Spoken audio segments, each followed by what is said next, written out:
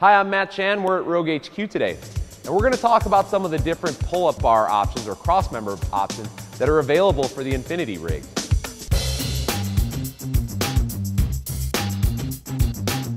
The first one that we're going to look at is going to be the 70-inch parallel bar option. This is what ships standard with all of our rigs. People have asked, are you able to do a chin-up and not hit your face on the top bar?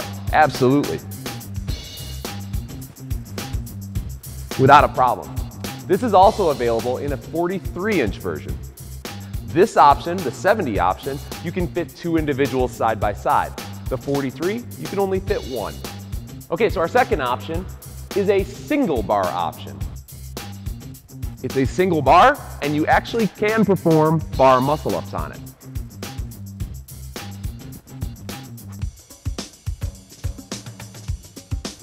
We've got the Fat Skinny Combo Bar. This is great because you can actually flip it up side down, have the fat bar on the bottom, which is a two inch outside diameter bar, or we can turn it around again and have the 1.25 inch outside diameter bar on the bottom. Realize we can only do pull-ups on the bottom section. Another option is a single fat bar, which is a two inch outside diameter bar in a 43 inch width. This is an option that you could actually perform bar muscle ups on and pull ups, toes to bar, so on and so forth. The Dirty South bar gives us two different height options to perform our pull-ups on. This is great for gym applications that have varying athletes and varying sizes. The two bars that we can do the pull-ups on are the bottom bar, which is the shortest bar, which we have to face the outside of the bar.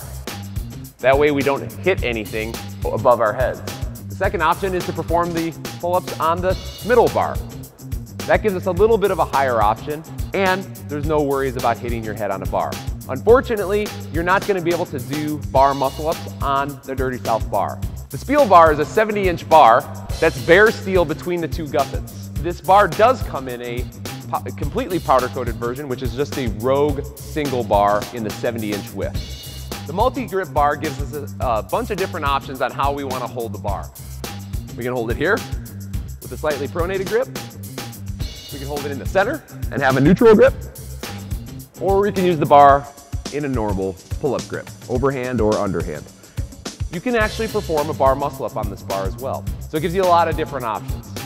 The last option that we're gonna look at is an option when we're linking the R-Series racks together.